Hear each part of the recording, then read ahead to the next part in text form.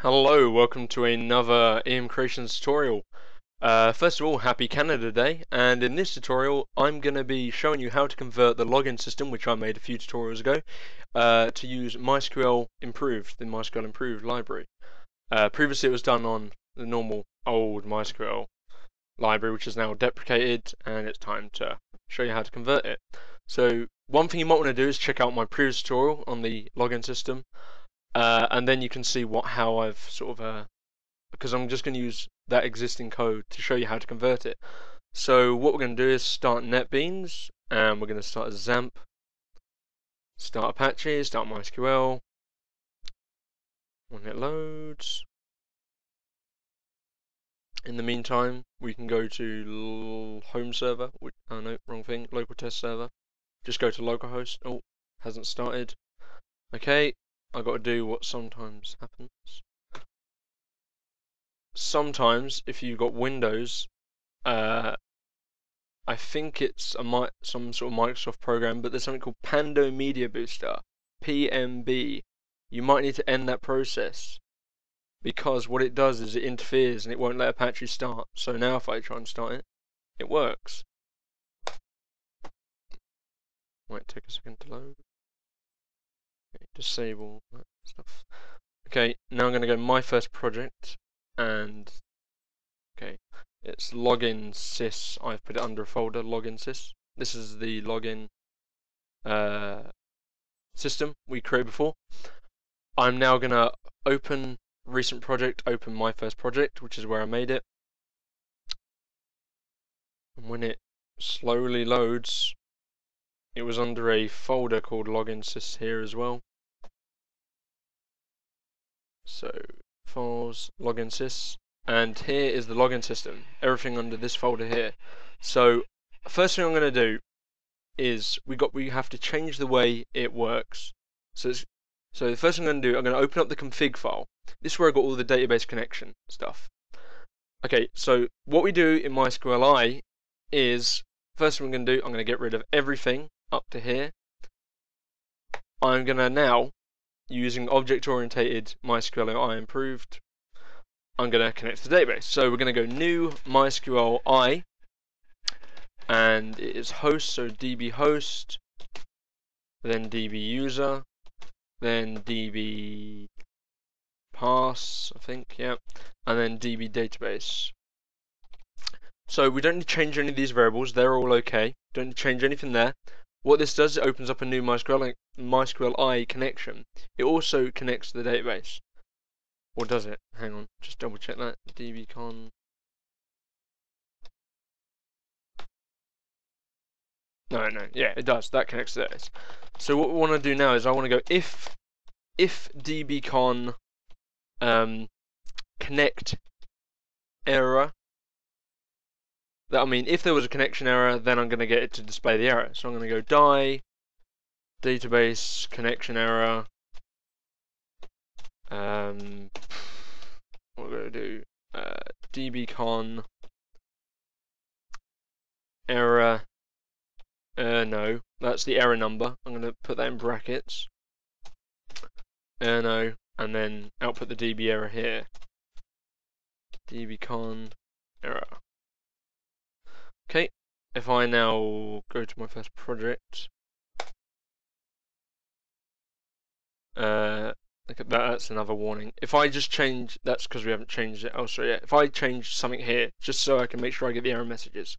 So if I change the host incorrectly, I should now get an error message.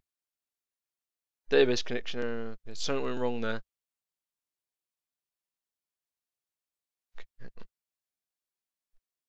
I get the password. I think that's actually a different type of warning. Anyway, that if it if it can't connect, it will kill the script. Simple as that. If it can, it will continue. Next, I'm going to change. I'm going to have a look in the footer. Nothing there needs MySQL. Have a look in the header. Uh, yes, there is stuff here that needs MySQL. But yeah, okay. I'm going to sort this out first. So what we want to change here, wherever we got MySQL query, what I'm going to do is I'm going to change that so I have uh, dbcon. dbcon is how we're going to start it. So so all I've done here is I've just got rid of everything here. I'm just going to delete that, but I'm going to keep the query. dbcon, and then if I want to do a query in MySQL, I first use the variable that we instantiated here, which is dbcon. That's our handle for the MySQLi. And what I'm going to do is I'm now going to go uh, hyphen and then right arrow query. That is just like typing. That is the equivalent. So that equals that basically. That is the old way of doing it. This is a new way of doing it. MySQLi. Objects oriented MySQLi. That is. So, okay. So if it expires, it will update. That that's now done. That's now converted to MySQLi. Now is is logged in. Um, with functions, because we're using a global variable dbcon, you might want to make sure it is globally available in the function. And to do this, all you need is one line of code, which is global, and then the variable dbcon, and that will make sure that that variable is now available here. So we're now going to escape this string here. So let's first do this one, which is all we've got to do now is dbcon my uh, real underscore escape string. That's how you escape strings. Uh, we've got another one here, so all we need to do is this.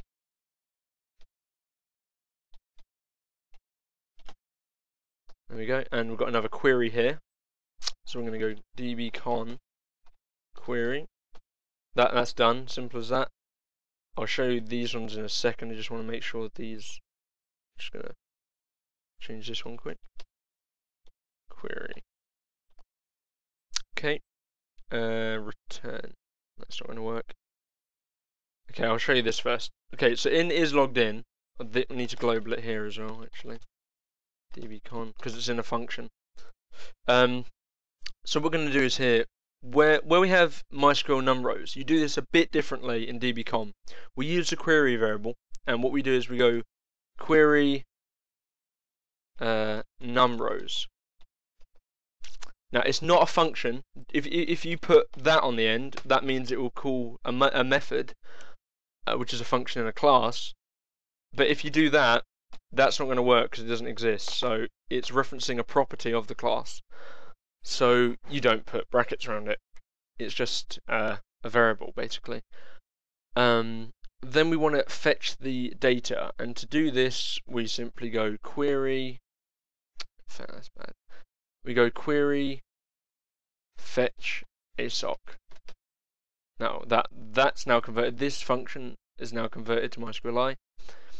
Um, and the same here. Return query fetch assoc. Okay, that's pretty much that. That's that file converted to MySQLi. Uh, what else do we have to do? Home. Nope, don't change anything there. Index. Don't need to change anything there. Login.php, probably, maybe need to change. Yes, we do.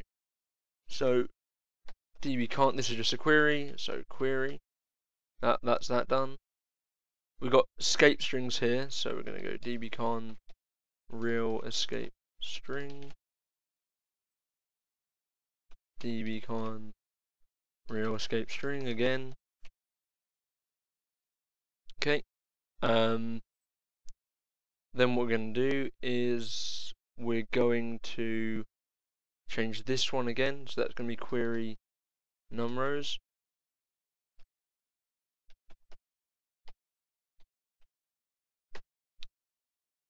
Uh, that's an extra bracket. Query num rows, do to do. Anything else? Nope. So just these ones underneath. Query Real escape stream. It's pretty easy once you know what you need to change. It's not that hard to convert. Uh, no, sorry, I've done that wrong above. I'll change it in a second. That should be dbcon, not query. Uh, yep. Anything else? Yep, this one. Query fetch assoc. dbcon query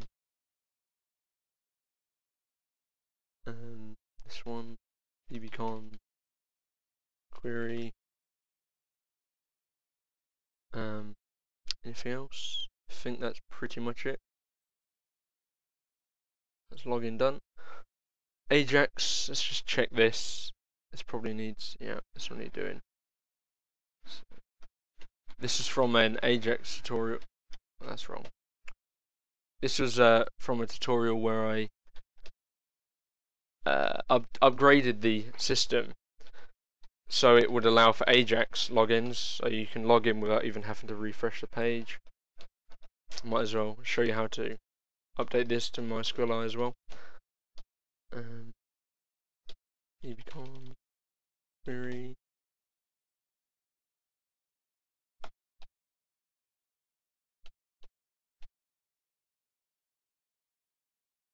Oh, what am I doing? There we go. And query num rows here.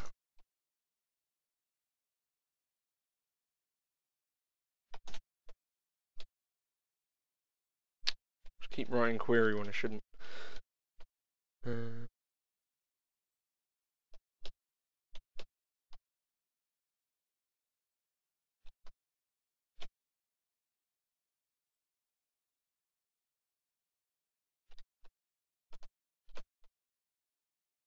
Can't type today. Vector sock.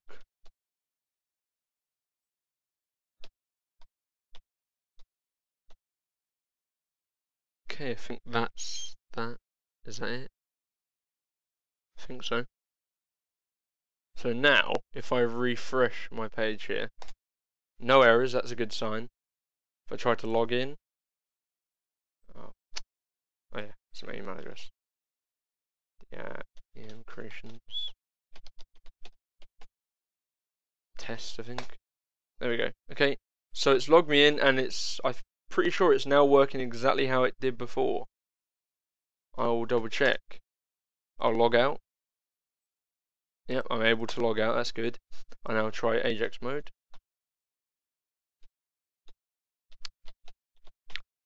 Uh, what was that? Test, login. Congratulations, you've logged in. Must have worked. Something must be working. Yep, seems to work fine. I'm logged in and it's using MySQLi now. So I've upgraded it to MySQLi. It's rather simple to do. All I the main the main thing is getting this bit here right. Is um that this is the main difference. Uh, well, I'd say is you you create a new object. That's what we're doing here. We're going new MySQLi. We don't select the database anymore uh, you can do it inside the initial connect statement, which is this one here. If there's a connection error, we'll output the error and kill the script. That's what die does, kills the script. Uh, and then everywhere else, pretty simple changes really. I mean, it's sort of like DB connect. I mean, it's it's really quite simple once you get your head around it. I'll just type up here in comments on the config. I'll type some comments. So basically, you got where you had MySQL query, that will now become uh, dbcon query. Where you had MySQL fetch assoc, that will now be the query object that you created, fetch assoc. Where you had MySQL real escape string, that will now be uh, dbcon real escape string. And where you had MySQL num rows, you had MySQL num rows, that will now be dbcon. Uh, no, it won't be, it'll be query num rows. That is pretty much it. Uh, that is pretty much the changes. It's not too difficult. And yeah, I hope to have more tutorials soon. If you've got any questions, I should get back to you if you PM me on YouTube or post a comment. I check it pretty regularly, so